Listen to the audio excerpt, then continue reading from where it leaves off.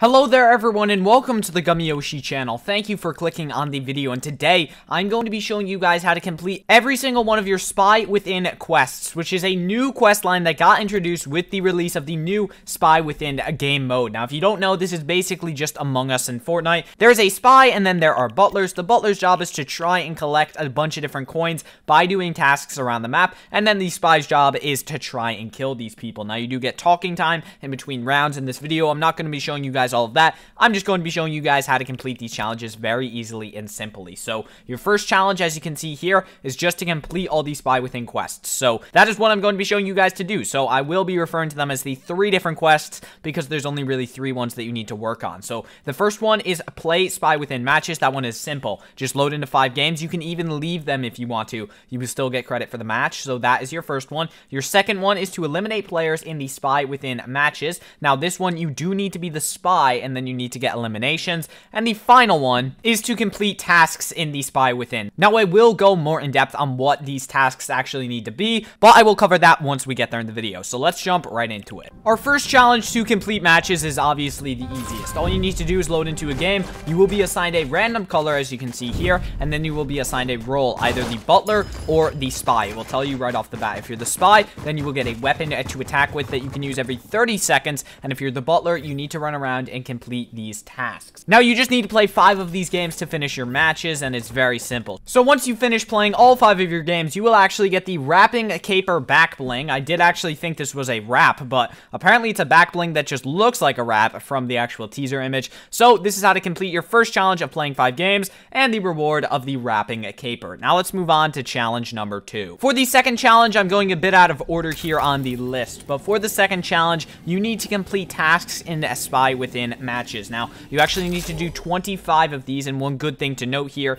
is that the deliver challenges will not work for this one. So around the map, you may see mini shields that you can pick up and then drop off to another location. Those do not count as progress towards this challenge. You actually need to go around and dust shelves like you see on the screen right now, and also like set tables and uh, water flowers. Just the tiny things where you hold down your interact key, those things will actually count as progress towards your second challenge. So this is how to complete your second challenge of getting a 25 tasks finished in a actual Spy Within game. So once you manage to get all 25 of these tasks done, you will get the Jingle Wing, the exclusive glider for completing this quest. Now let's move on to our final one of eliminating players when you are the spy. For the final quest, just like I mentioned, you do need to be the spy to complete this one as the challenge is to eliminate players. So basically, to do this, you need to load into enough games where you eventually become the spy. As you can see on the screen, I am the spy in this game. It is completely random whether you get the spy or not. One thing to note about being the spy is you can actually still do quests, even though